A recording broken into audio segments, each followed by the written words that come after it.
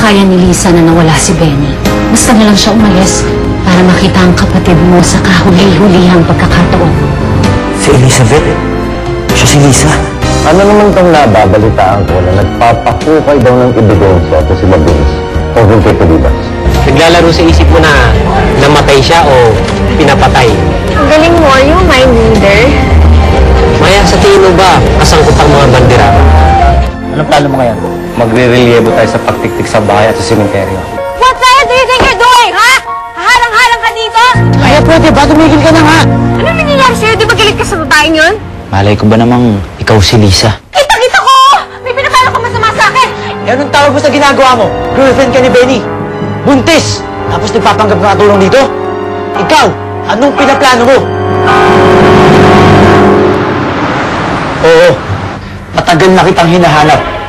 At yun ang pangako kay Benny bago siya namatay. Si Benny. Alam ko, Lisa. At mahal na mahal ka rin niya. Kaya ngayong nahanap na kita, tutulungan kita. Pababaluin ko ang lahat para sa'yo. Magiging maayos ang anak mo. Kung alam kung paano kita papagkatiwalaan. Hindi naging maganda ang natin pagkikita. Hindi mangyayari yan kung naging magpatao ka.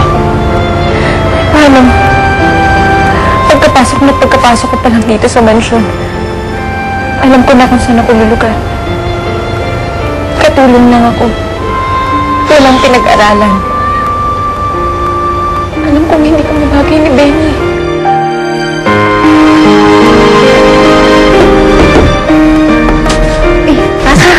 Wow! Ano yan? Engagement ring? Nag-propose na siya si Eric? Ah, hindi no. Pero naisip ko, bakit ko pa siya hihintayin kung kaya ko namang gawin? Bakit naman hindi? Di ba 21st century na ngayon, so empowered na ang mga babae. And besides, can you guys relax? Hindi to engagement ring. Ah, well, ano yan? Eh di ano, surprise gift ko para kay Eric. Mag-anniversary namin. RD, ano favor? Pwede pa akong ng reservation sa bar mo, mga dinner time siguro. Maya, pinapunta mo lang kami dito para sa reservation?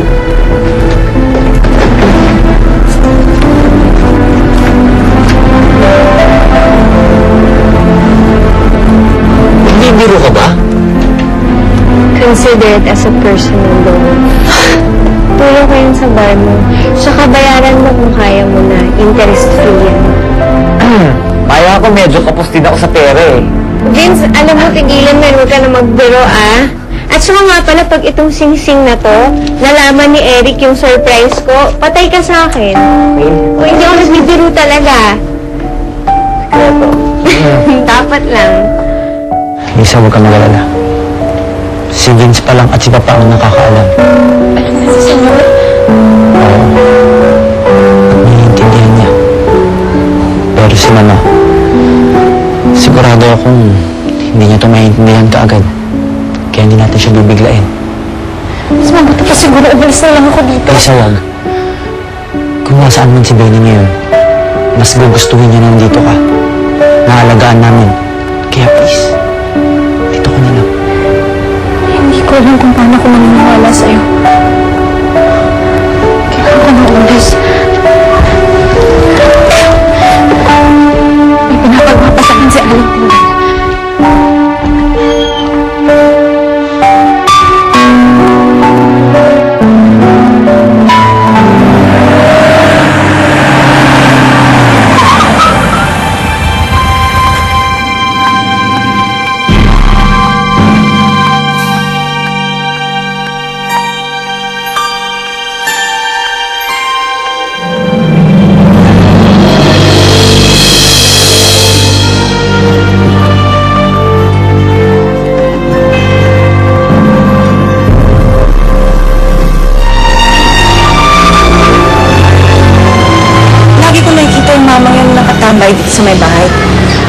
Nakatawag nga sa guards para makita kung sino siya.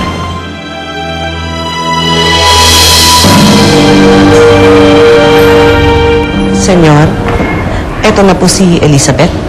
Sige, Tindin. Iwan mo na muna kami. Sige po. Opo ka.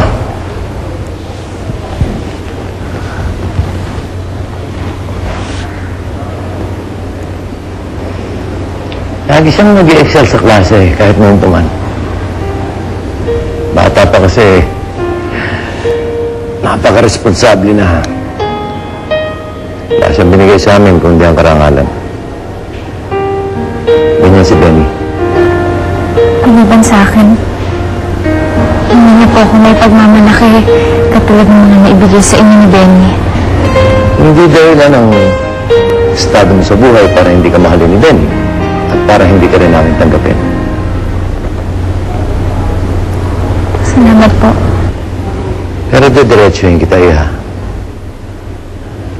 Anak ba talaga ni Benny yung dinadala mo?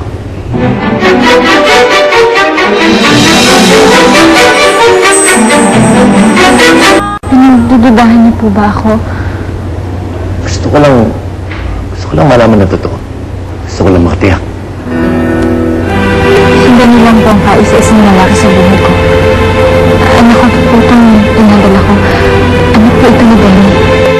Well, malalaman at malalaman natin ang buong katotohanan kapag uh, sinilang mo na ang batang yan. May problema ba, Mateo? Wala, wala. May problema ba kay Elizabeth?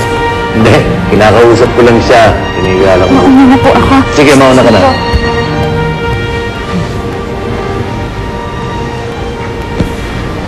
Parang ngayon ka lang nakikipag-usap sa mga kasamahan natin dito sa bahay, ah.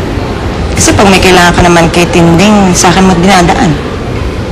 Naisip ko lang, it's about time na kilalanin kong mabuti yung mga nagsisilbi sa atin dito sa bahay. Don't you wrong? Nagpapaalam? Bakit po? Ang isasama ko si Elizabeth sa labas. Eh, bakit nga po? Ah, papalinis ko yung pad ko. Senyorito Eric, kung ano man yung binabalak mo. Aling tindeng. Magtiwala na lang kayo sa akin. Pinapangako ko, salang-alang kay Benny. Wala ho akong gagawin kay Lisa. Lisa? Ah, si Elizabeth ho yung tinutukoy ko. Teka, teka, senyorito. Ano naman ang nangyari na dun sa aso't pusang sitwasyon ng dalawa ni Elizabeth? Sabihin na lang natin na yung dinadala ng pusa, eh galing din pala sa aso. Hinihilo mo ba ako, senyorito? Aling tindeng, huwag na ho natin palalimin pa yung usapan. Basta magtiwala na lang kayo sa akin. Okay? Um, Elizabeth,